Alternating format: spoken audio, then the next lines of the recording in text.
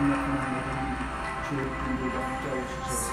아버지 이곳에 드나들고 들어왔다 나갔다 하는 모든 사람들이 내 은혜를 깨닫게 하시고 내 은혜 가운데